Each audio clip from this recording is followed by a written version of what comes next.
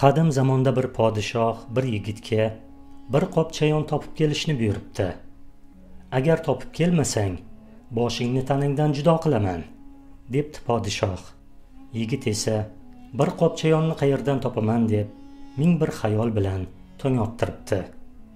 Yigitni otasi voqeadan xabar topgach buncha ko'p chayonni faqat qozilarning qabridan topasan.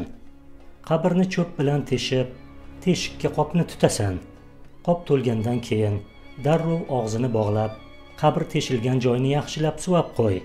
Bo'lmasa yer yuzini zaharli chayonlar bosib ketadi debdi ota yigit otasining aytganini qilib bir qop chayonni podshohga olib borib beribdi. So'ng uyga qaytgach otasidan shuncha chayon qozining qabrida nima qiladi? so'rabdi yigit. Shunda ota balki Alloh ularni adolatsiz qarorlari va hukmlari uchun jazolayotgandir deb javob beribdi ota.